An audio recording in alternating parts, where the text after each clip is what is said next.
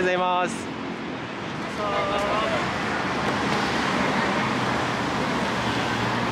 Arkadaşlar bedavaya enerji içeceği aldık. Şansın böylesi. Beleş mal baldan tatsa neyse içeriz sonra ya. Az önce de bir abi geldi maske verdi arkadaşlar. Monster enerji içeceğinin üstünde bir de maske aldık bedava. Bakalım bugün başka neler bedava alacağız. Videomuz daha başlamadı ama şimdiden bir sürü hediye almaya başladık. Eşantiyon severim. Devam. Hepinize merhaba arkadaşlar. Ben Feridun. Yanımda Seika yok şu an.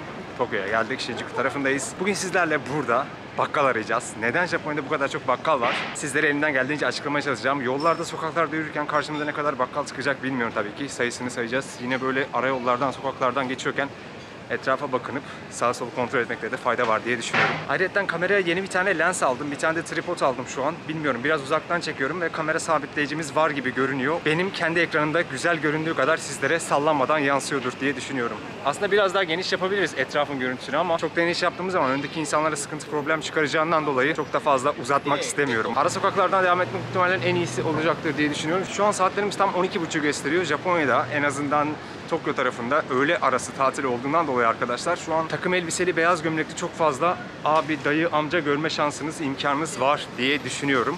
Millet öğlen yemeğine çıktı. Bir saatlik öğle yemeği araları var. Onda da böyle sağa sola gidip yemek yiyorlar. Biz de çok güzel bir ara sokağa girdik şu an. Etrafı görebiliyor musunuz bilmiyorum ama şöyle sizlere güzel güzel döndüre döndüre gösterebiliyorum. Vallahi iyi oldu ha bu tripodu al. Görüntü olarak çok güzel. Geniş geniş etrafı da gösterebiliyoruz. Burada mesela ne varmış? Bak bak burada böyle günün menüleri vesaire var. Fiyatları zaten aşağılarda yazıyor. Umarım görebiliyorsunuz. Ekrana yansıyordur. Az önce girdiğimiz sokak zaten şu taraftan geliyor arkadaşlar. Buradan sonra bu şekilde devam edeceğiz. Hadi gidiyoruz halde. Millet garip garip suratıma bakıyor benim. Tokyo'nun bu öğlen saatinde deli gibi eline almış kamerayı ne yapıyorsun diye millet şu an merak ediyor diye düşünüyorum. Çünkü uzun süreden beri ben de tek başıma kamera alıp böyle dışarıda video çekmediğim için bana da biraz tuhaf gelmiyor değil açıkçası. Bak böyle dayılarımız sıra bekliyorlar. Ve genelde zaten öğle arası yemekleri arkadaşlar normal akşam yemeklerinden çok daha ucuz oluyor. İşte öğlene özel menüler oluyor, öğlene özel fiyatlandırmalar falan oluyor. O yüzden genelde şirket çalışanları evden alıp getirmek yerine restoranlara gidip yemek yiyebiliyorlar. Şu an bir yol ayrımına geldik ama ne tarafa gideceğimiz gerektiğini bilmiyorum. Sola gidersek çok büyük şirketler var. Oğlum valla tripodum olması çok güzel oldu ya. Kendimi gerçekten vlog gibi hissetmeye başladım şimdi. Önce kamerayı elimde taşıyordum böyle. Kıvrılabilir ayak vardı. Ama onunla çok uzağa çekim yapamıyordum maalesef. Etraf da güzel görünüyor. Bayağı da geniş bir görüntüye sahibiz. Vallahi mis gibi sokaklarda geziyoruz. Ama bak burada güzel bir yere denk geldik. Arkamızda böyle PlayStation 5 satılıyor, oyunlar var. Yine PlayStation oyunları var, Nintendo oyunları var, farklı farklı oyunlar var. Böyle iş yerlerine aslında gelip göstermek istiyorum ama izin almak gerekiyor bazı yerlerde. Ki özellikle Tokyo taraflarında bayağı sıkıntı olabiliyor. O yüzden hani kafamıza göre girip çekemiyoruz. Bazı yerler gerçekten sıkıntılı. Özellikle oyun merkezleri vesaire lagaluga yapıyorlar çok fazla. İşte burada çekim yapamazsınız diye. Çekim yapıyoruz ya senin çırılçıplak fotoğraflarını çekmiyorum ki abi iş yerinin videosunu çekiyorum. Ne güzel diyorum bak Japonya'da teknoloji gelişmiş, insanlar eğleniyor, oynanıyor diyorum. Ayrıca öğleden sonra havanın çok fazla bozacağıyla ilgili haberler vardı. Yaklaşık 1 saat, 1,5 saat sonra inanılmaz bir yağmur yağacakmış. Ben şemsiye falan gelmedim ama umarım video çekimi sırasında yağmura yakalanmayız ya da yağmura yakalanmadan eve dönebiliriz diye düşünüyorum. Shinjuku'nun gökyüzünü en rahat görebileceğiniz en açıklık yeri burası diye düşünüyorum demiştim hatırlıyorsanız. Hava vallahi bayağı bozdu ya. Güneş güneş kayboldu. Umarım yağmura yakalanmayız abi. Ben de sanki ilk defa görüyormuşum gibi sağ sola bakıyorum böyle. Yani gerçekten turisti oynamayı çok isterdim ben de ama turisti oynayamıyorum arkadaşlar. Hani bir Japon böyle Japonca bir şey söylediği zaman çat diye Japonca cevap veriyorum.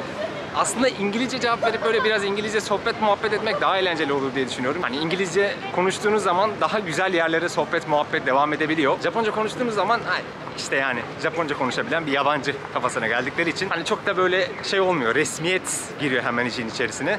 Japonca demek, Japonya demek benim için resmiyet demek abi. Arkadaşla bile olsa hemen iletişim kuramıyorsunuz. Belli bir mesafe oluyor aranızda. Muhtemelen Japonya ile ilgili yegane sevmediğim şeylerin arasında geliyor diye düşünüyorum. Vallahi market arayacağız dedik market yok oğlum ya. Gerçi şu an ana marketlerin olduğu kısma gelmedik henüz. Bayağı var mesafe aramızda ama tam kaynıyor abi. Hafta içinde insan kaynıyor ya.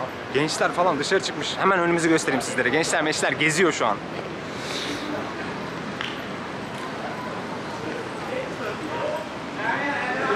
Tam yağmur dönemi başladı Japonya'da arkadaşlar. Tsuyu dedikleri. Bir ay boyunca sürekli yağmur yağıyor, hava bulutlu, kapalı. Yağmur yağıyor ama çok sıcak böyle terden falan paramparça oluyorsunuz. O yüzden Japonya'nın sevmediğim, bu video da Japonya'nın sevmediğim yanlarıyla ilgili olacak herhalde. Yok yok. Market arıyoruz arkadaşlar bu videoda. Buraya da çekmiştik hatırlarsanız. Şurada bir ara sokak vardı arkadaşlar. İsterseniz oraya gelip tekrar bakalım. O ara sokağın görüntüsü çok güzeldi çünkü önce girdiğimiz zaman. Yağmurlu havada falan çok iyiydi. Çok ara küçük dar bir sokak zaten. Şuradan girebiliyorsunuz. Hemen gelip buradan bakacağız. Baktığınız zaman zaten abi buranın fotoğraflarını internette özellikle akşam versiyonlarını görmüş olmanız gerekiyor diye düşünüyorum. İçeride böyle insanlar yemek yiyor. Fazla insanları da rahatsız etmek istemiyorum. Böyle sağdan soldan güzel Japonya'nın mis gibi olan köşelerini göstermeye devam abi. Öğlen açık olan yer çok fazla yokmuş ama ya. Dikkatimi çekti ama bak burada mesela küçük böyle bir restoran işletme var. Çok fazla insanların gerçekten suratlarını çekip rahatsız etmek istemiyorum. Öğlen yemeklerinde çünkü millet kafasını dinlemeye, güzel vakit geçirmeye geliyor. Yabancı birisinin kamerayla gelip onun suratını çekmesi falan hoş olmaz diye düşünüyorum. Burada tazilat var muhtemelen. Yine içeriği göremiyoruz. Burası akşam daha güzel oluyor deniyor. Çünkü buranın ışıkları falan yakılıyor arkadaşlar. Gördüğünüz yerlerin. Sağda solda ışıklar oluyor. Çok daha güzel böyle festival havasında bir görüntüye sebep veriyor burası. Şöyle yukarıya baktığınız zaman zaten oldukça hoş, güzel bir manzara var. Yine burada küçük bir restoran işletme var. Burası çok ünlü. Neden bilmiyorum ama sürekli müşterisi var abi buranın. İnsanlar burada sıraya geçiyor, bekliyorlar, yemek yiyorlar falan. Her zaman çok fazla müşterisi var. Çözemedim gitti. Kapalı olan yerler var bak hala. Korona dolayısıyla. İşletmesini kapatanlar var. İşletmenizi kapatın demiyorlar ama en azından koronaya uygun şey yaparsanız sizler için daha uygun olur diyorlar. Şehrin içerisinde zaten Japonya'da alışık olduğunuz arkadaşlar bu şekilde büyük büyük televizyonlar oluyor. Şu an Shinjuku'nun göbeğindeyiz. En çok bilinen yerindeyiz. Zaten biraz yürüdüğümüz zaman sol taraf ve sağ tarafta Kabukicho dediğimiz yerler var arkadaşlar. Hani hep diyorlardı ya Japonya'da yolda sokakta yürüyerek sigara vesaire içemiyorsunuz kafanıza göre diye. Şu an arkamızda gördüğünüz yer arkadaşlar insanların sigara içtikleri yer. Abi önüne bak ya. Öküz gibi bisikletle geçti. Çarpıyor da hayvan herif ya. Şu arkada gördüğünüz yer zaten insanların sigara içtikleri yer arkadaşlar. Hani Japonya'da yolda sokakta sigara içemiyorsunuz kuralı zaten burada da geçerli. Görebiliyor olmanız lazım diye düşünüyorum. Güzel ya Japonya güzel memleket. Seviyorum abi devam. Şurada gördüğünüz market arkadaşlar 7-Eleven olarak geçiyor. Japonya'daki en ünlü bakkallardan, marketlerden birisi. Zaten en çok da muhtemelen 7-Eleven var diye düşünüyorum. İlk marketimize, bakkalımıza denk geldik. Bakalım daha nelerle karşılaşacağız. Burada yoldan geçerken bir tane daha markette karşılaştık. Şu an görüyor olmanız lazım. Arkamızda Family Mart var. Bu ikinci bakkal market oldu arkadaşlar. Yine aynı şekilde yolumuza devam ediyoruz. Şurada sağda bir ara sokak görmüştüm. Oraya girip bakacağım. İnşaat olan yer. Az önce geçmiştik zaten ama sırf marketi gördüm diye geri döneyim dedim. Şimdi kaldığımız yerden yola devam ediyor. Çok da bir şey yokmuş aslında ya. Ben güzel görünüyor diye düşünüyorum ama az önceki sokaklarla caddelerle kıyaslayınca gerçekten pek de güzel değilmiş hani buraları. Genelde masaj salonları oluyor arkadaşlar. Bilmiyorum hani Japonya'da böyle şeylere ilginiz var mı ama geldiğiniz zaman belki masaj yaptırmak isteyebilirsiniz. O yüzden Shinjuku'ya gelirseniz muhtemelen çok fazla bu tarz restoranla, işletmeyle karşılaşmanız işten bile değil. Caddeye girdiğimizden itibaren yürümeye başlayalı aşağı yukarı 3 dakika falan oluyor arkadaşlar ama iki tane bakkalla karşılaştık bile. Aha önümüzde bir tane daha var. Üçüncü olacak bu. Devam ediyoruz bakalım. Daha kaç tane bakkalla karşılaşacağız. Benim gördüğümden ayrı şu an bir tane daha market bakkal gördük. Bu üçüncü oldu arkadaşlar. İleriye gittiğimiz zaman yine bir tane daha var. Dördüncü olacak o. Arkamızda var bir tane. Onunla beş olacak. Şimdi önümüzdekini gidip çekeceğim. Dördüncüyü çekeceğim. Daha sonra beşinciye gideceğim. Aramaya başlayalı dört dakika oluyor ve şu an beş tane bakkalla karşılaştık bile. Zaten böyle yerlere geldiğiniz zaman genelde sağda solda her yerde market bakkal oluyor. Neden bu kadar çok market ya da bakkal olduğuna gelecek olursak Japonya'da çalışan insan sayısı genç ve yaşlı nüfus, orta yaşlı olması hiç fark etmiyor. Çok fazla olduğundan dolayı insanlar genelde evde yemek yapmaktansa bu tarz marketlerde, bakkallarda alışveriş yapmayı tercih ediyorlar. Az önce sizlere gösterdiğim yer yine dördüncü marketimiz bu. Şimdi beşinciye gidiyorum, yol alıyoruz. O yüzden insanlar işten vesaire geldikten sonra yemek hazırlamak yerine çok pratik olan bu bakkallardan, marketlerden aklınıza gelebilecek olan çoğu ürünü satın alabildikleri için kendileri yemek pişirmek yerine satın alıyorlar. Hem daha ucuza geliyor hem daha pratik hem de zaman kazanmış oluyorlar kendileri için. Öyle düşünecek olursak SK mesela pek bakkallardan vesaire alışveriş yapmaz. Yemeklerini en azından almaz her gün kendisi hazırlıyor evde. İşten eve geliyor, evde kendi akşam yemeğini hazırlıyor bir de yarın yemeğini hazırlıyor. Zaten saat 11'i falan buluyor. Heh geldik 5. marketin önüne. Yine bak burada bir tane 5. marketimiz var. Şu an market aracında olduğumuz için çok fazla vakitte kaybetmek istemiyorum. Abi bize el salladı ama kamera buraya baktığı için muhtemelen abi sen ekrana çıkmadın. Neyse eyvallah ya ne diyelim. Böyle cana yakın insanların olması güzel ama. Japonya çok temiz arkadaşlar. Japonya'da yaşıyorsun, Japonya'ya kötüleme, Türkiye'ye dön lan o zaman. Diyen kişiler var mı ya acaba? Aha kebapçı var. Önümüzde kebapçı var bak. Abiler Türk mü? Türkse bir selam verelim. Selamünaleyküm. Kolay gelsin abi. Eyvallah eyvallah. Selamünaleyküm. Bak. Nasılsınız abi? Nasıl gidiyor? Ne yapalım? Çalışıyoruz aynı. Kolay gelsin. Abilerimize selam verelim diye buraya geldik. Hazır fırsat bulmuşken biraz da sohbet edelim. Tam o sırada müşteri geldi. İşte bizim şansımız bu kadar abi.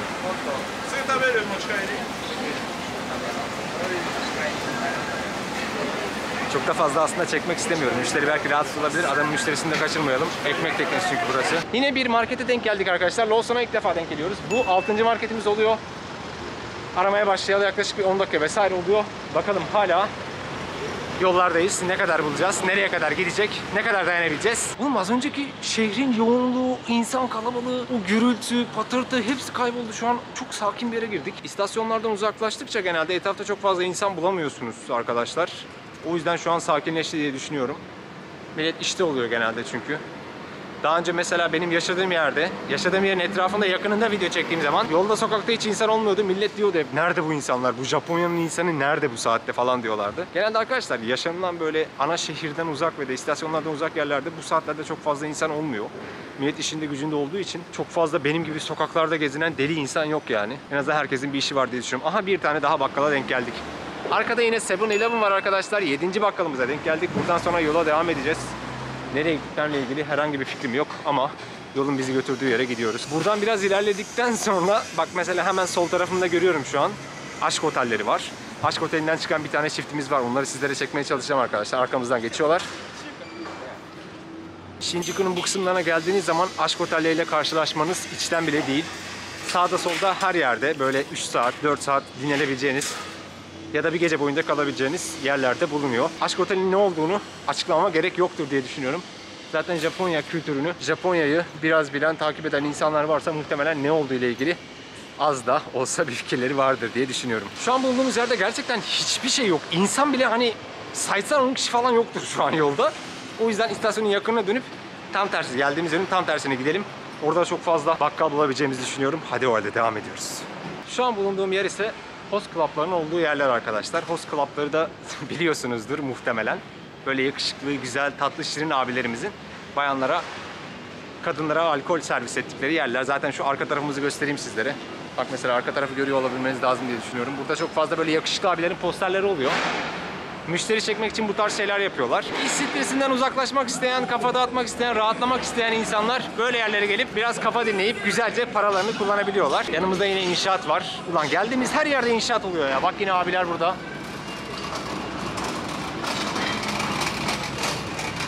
Burası host club'ı dolu gerçekten ya. Her yer mi host club olur abi? Bu kadar fazla olmasın niye böyle ya? Bu bölge öyleymiş demek ya. Bir tane abi şu an şeyden çıktı.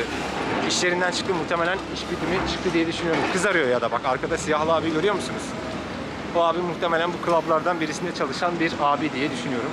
Umarım bana kızmazlar ya. Neyin videosunu çekiyorsun lan burada diye. Bak yine burada arkamızda yakışıklı abiler. Bir de sıralamaları falan oluyor abi bunların. İşte host club'larda ondan birinciye kadar böyle. Kazandığı para farklı, ünü farklı falan. Aa bir market daha. Ve 7. bakkalımızla karşılaştık. Yine yolculuğa devam ediyoruz. Arkada görüyorsunuz muhtemelen.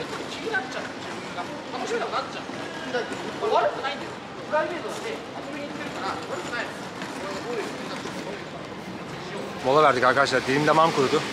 Otomatların yanındayız şu an ama az önce bedava aldığımız Monster enerji içeceğini içiyorum şu an. Şurada biraz soluklanayım, dinleneyim. Daha sonra yine market arayışına devam edeceğiz. Mesela şu an yine yoldan geçiyoruz. Arkada 18 yaşından küçük olanların giremeyeceği bir işletme var. Böyle güzel tatlı ablalarımızın fotoğraflarını koymuşlar. Genelde bu tarz yerler zaten masaj salonları vesaire gibi tarzlara sahip olduğu için öyle kafasına göre herkes giremiyor. Özellikle gece şu an bulunduğumuz yer çok fazla iş yapıyor arkadaşlar. Çok kalabalık oluyor. Yemeğe, içmeye, eğlenmeye gelen arkadaşlar var. Mesela arkada bağlı mankenleri görebiliyoruz diye düşünüyorum.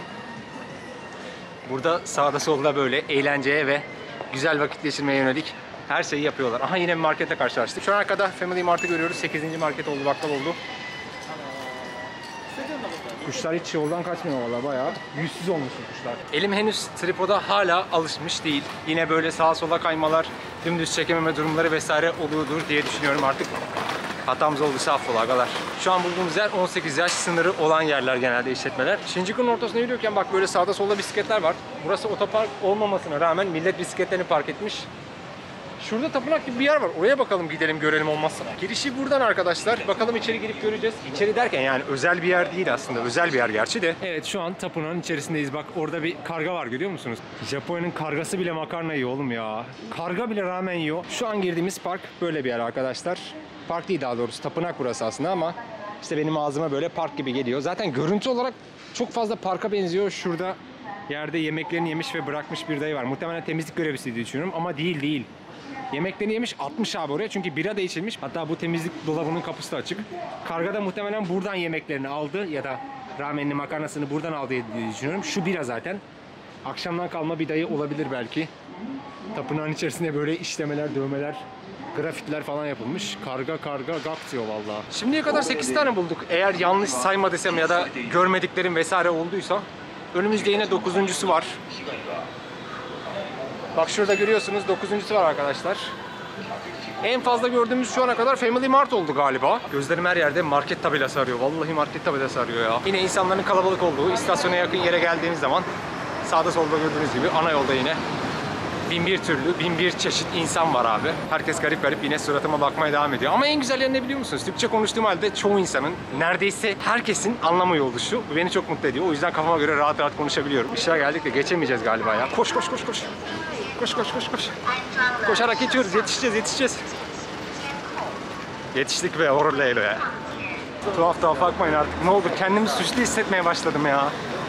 Kötü bir şey yapmıyoruz oğlum. Video çekiyoruz. Bir de biliyorsunuz Japonlar zaten bu işte fotoğrafının ya da videosunun çekilme olayını hiç sevmiyorlar. Özellikle yüzlerinin böyle istemedikleri fotoğraflarda çıkmasını falan hiç sevmedikleri için ki özellikle bir Japonun suratını ya da videosunu çekmeye çalışırsanız sizi şikayet ederse yani tutuklanma durumuna kadar gitmez ama polisten uyarı alırsınız ve elinizdeki videoların fotoğraflarının silinmesini isteyebilirler sizden. O yüzden Japonya'ya geldiğiniz zaman video veya fotoğraf çekmeye çalışırsanız sizlere dikkatli olmanızı önereceğim ben arkadaşlar. Hani ben bile Japonya'da düşünün 3 yıldır neredeyse video çekiyorum. Ben bile hala İnsanların bana böyle garip garip bakışlarına alışamadım video çekiyorken ki. Oraya kadar gitmek istemiyorum ya çok uzak ama sizlere göstereceğim arkadaşlar. Kamera çok mu yakın oldu ne? Bak yine şurada bir tane Family Mart görüyorsunuz. 3 tane çizgisi olan yer. Ve şu an Shinjuku'nun muhtemelen göbek deliği denebileceği yerdeyiz. Shinjuku denince aklı abi. Arkada şu an bizim gittiğimiz yönde Shinjuku istasyonu var. Orası zaten buranın ortası göbeği, göbek deliği olarak geçiyor. Eskiden şu benim yürüdüğüm yerde, ulan yolun ortasına gidiyormuşuz araba geldi. Konyalı mıyım neyim ya? Konyalılara diss atmıyorum bu arada. Ondan sonra yorumlarda tartışma kavga çıkmasın arkadaşlar. Hani hep öyle derler ya Konyalılar yolun ortasından yürümüş diye. Niye öyle ya? Gerçekten Konyalılar yolun ortasından mı yürüyorsunuz abi? Bir açıklama istiyorum ya sizden.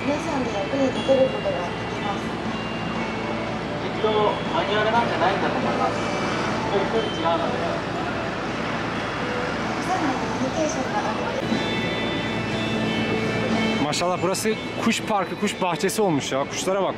Kaçmıyorlar bile artık ya. Eğitimli kuşlar oğlum ha. Taklacı güvercin hepsi bunların. Taklatına görelim lan alo. Bak bak nasıl kabarıyor. Bak bak bak. Bu da ben arkadaşlar.